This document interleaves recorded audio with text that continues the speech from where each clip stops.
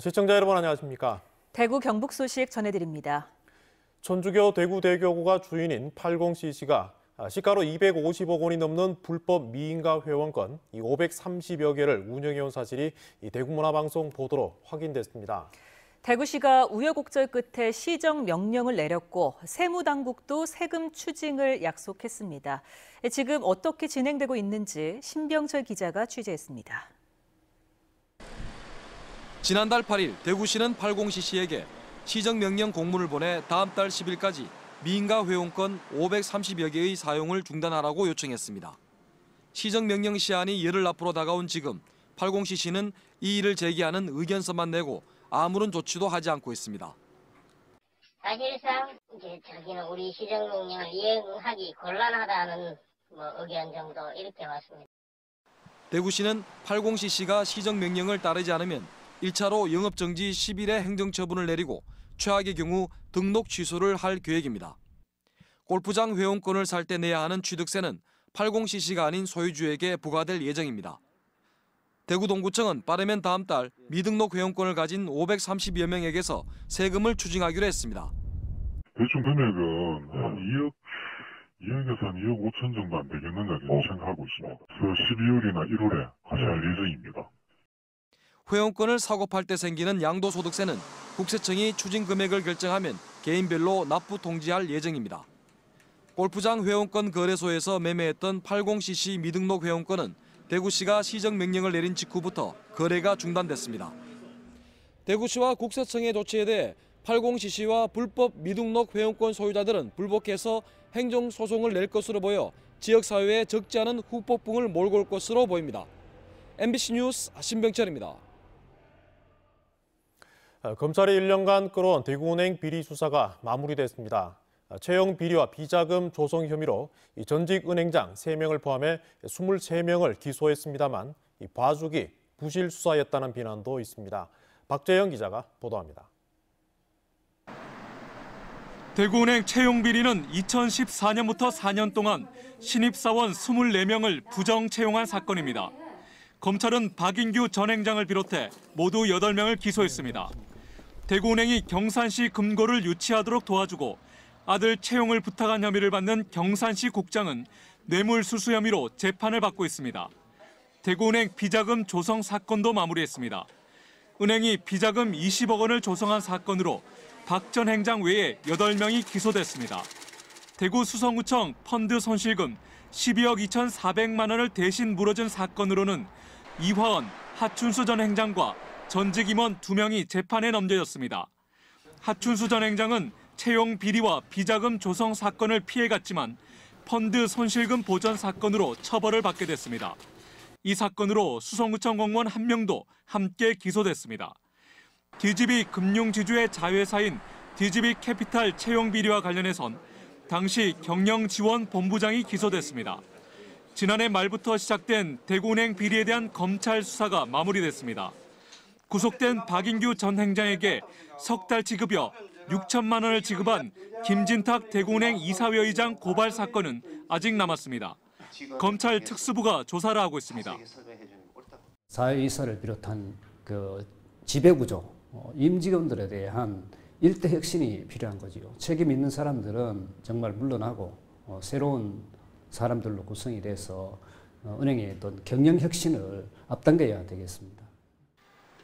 지난 1년 동안 대구은행 비리를 수사한 검찰은 모두 23명을 기소했습니다.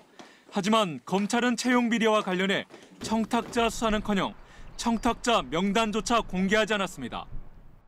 비자금 수사는 몸통을 비켜갖고 축소했다는 의혹을 받고 있습니다. 수사는 마무리했다지만 박수보다는 질책을 받는 이유입니다. MBC 뉴스 박재영입니다. 아, 대구 성서 산업단지에 열병합 발전소가 건립된다는 소식에 지역 여론이 들끓고 있습니다. 이 쟁점이 한두 가지가 아닌데요. 윤영윤 기자가 쟁점을 하나하나 짚어봤습니다. 대구시 달서구 성서산업단지 안 열병합 발전소가 들어설 곳입니다. 나무를 태워 수증기를 시간당 50톤 만들어 70%는 전기로 30%는 열로 이용합니다. 가장 큰 문제는 대기오염입니다. 이미 이 주변에는 한국 지역 난방공사 열병합 발전소와 성서 생활 폐기물 소각장이 있습니다. 지역 난방공사에서 1년에 8,500톤, 폐기물 소각장에서 6,000톤이 넘는 대기 오염 물질이 나오는 상황에서 4,000톤이 넘는 오염 물질이 더 나오게 됩니다. 가뜩이나 성서 산단에서 내뿜는 유해 물질이 심각한데 엎친 데 덮친 격이라는 게 주민들의 주장입니다. 불가금 한 정확히는 모르겠는데 1kg에서 1.5kg 뭐 그렇게 안 멉니다. 그런데 이제 거기서 지금도 심각이 가고 대구시와 달서구는 연료 중 95%를 순수 목재, 즉 우드 펠릿으로 사용하고 폐목재의 비중은 5% 미만이라며 문제가 없다고 주장합니다. 국립환경과학원 연구에 따르면 미세먼지를 유발하는 질소 산화물은 우드 펠릿이 연탄보다 20배 더 많이 나옵니다. 이 업체는 바이오 SRF라는 업종으로 허가를 받았는데 이 바이오 SRF는 농업 폐기물과 폐목재를 사용합니다. 열병합 발전소를 지으려는 곳은 대구시나 달서구청이 아니라 한국 맥커리 그룹 계열사의 자회사입니다. 비교적 싼 가격에 열과 전기를 제공하는 지역 난방공사나 쓰레기를 태워 없애는 폐기물 소각장과는 성격이 다릅니다. 우리나라 바이오 SRF 발전소는 통상적으로 연료의 90% 이상을 수입하고 있어 폐기물 재활용이라는 취지도 찾기 어렵습니다. 외국에서 굳이 예, 폐목재까지 수입을 해서 태우는 거기 때문에 안 그래도 이 지역이 이제 미세먼지라든지 악취 때문에 고통받는 지역인데 이 업체는 3년 전부터 대구시와 산자부 달서구청으로부터 차곡차곡 관련 허가를 받아왔습니다.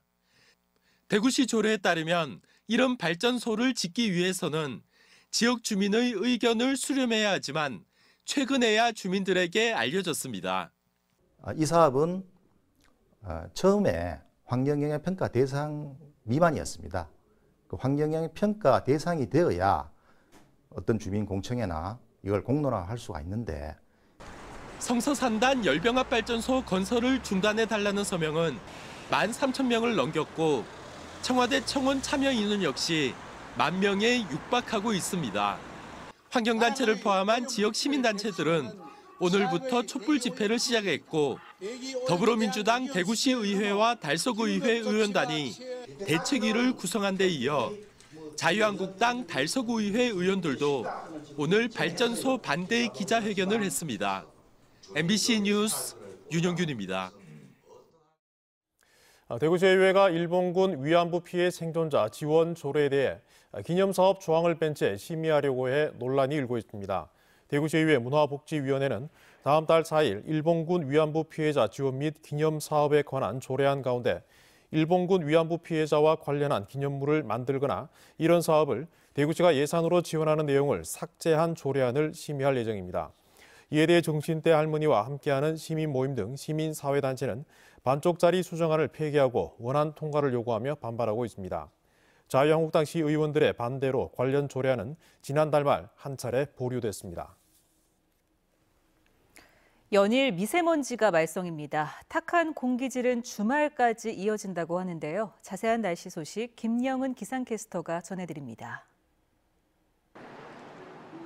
미세먼지와 황사로 인해 바깥에 잠시만 있어도 목이 금세 따끔거립니다.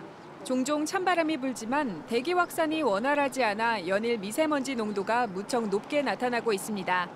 오늘 대구의 미세먼지 수치는 166 마이크로그램, 구미 등 일부 지역은 200 마이크로그램이 넘는 수치를 보이며 평소의 서너 배 수준을 웃돌고 있습니다. 탁한 대기 상태 속의 수성못에서는 많은 시민들이 마스크를 착용하고 발걸음을 옮기고 있습니다.